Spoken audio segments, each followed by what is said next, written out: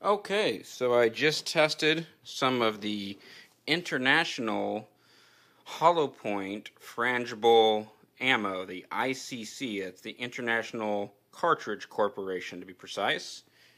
Here's the bull the ammo. One second if I get the focus on on here. Oh, I'm zoomed in, that's why. No wonder nothing was looking right. So here's the uh, ammo and what's left of the bullet. This is the box. My leg's shaking, sorry. Here is the damage path. Let me show you this. Take that away from there a little bit. Actually did pretty well. I don't know what that junk is that I made in my gel. Somehow I dropped some paper in there or something. There was another piece that actually came out right here. Don't know where I set that. But anyways, let's take a look at this stuff. Let's take a look from the side. I shot a, about a centimeter higher than I wanted to, but here's the damage it did to the front part. Who knows how far those top fragments would have gone if they... Well, actually, it stopped right at the stop of the gel, so I highly doubt it would have gone much farther. It pretty much fragmented immediately upon impact. You can't really tell from here because there's a curved edge on this mold. But the damage it did, it did this kind of, you know, spiral cut the whole way through. I recently tested a uh, Extreme Shock Fang Face 380 and it just did that thing the whole way through. It wasn't even worth documenting. By the way, uh, the Fang Face, which I think they know, the real company long, no longer makes Extreme Shock Fang Face. Anyways, this is the International Cartridge Company 380 hollow point green light frangible ammunition, and it's pretty impressive.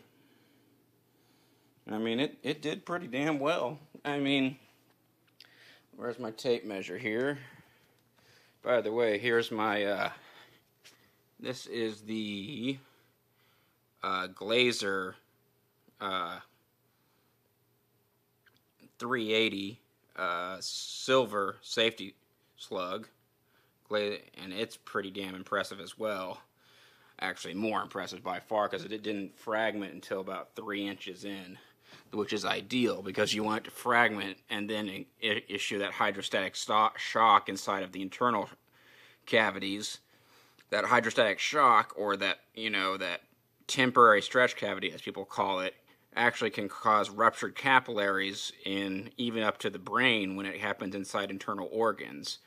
Uh, there's a whole write up on that. You can look it up on uh, Wikipedia or the those two doctors that did a write up on uh, the Strauss, uh, you know, goat test, the Strasbourg goat test, the PhD. I have the names of them. I can add that to it later here in a minute.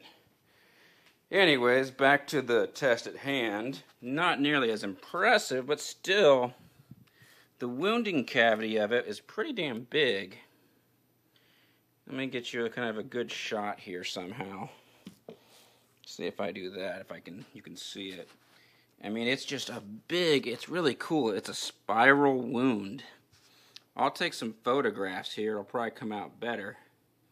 But as you can see, it does a big chunk, like right here. And then it just does this big spiral cutting action. And as you can see, it shattered. Those fragments went about three inches in. Unlike, you know, this guy who obviously, for all intents and purposes, is the better round. You'd really have to admit, unless you're going for that, you know, this the end of this round, that little broken the piece there without the tip on it anymore, traveled the full what, 14 inches of the gel, 16 inches maybe. No, 12, 13 inches of this thing. Pretty good.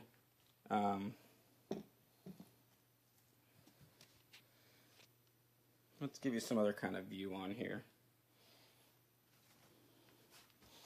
Let me do something here.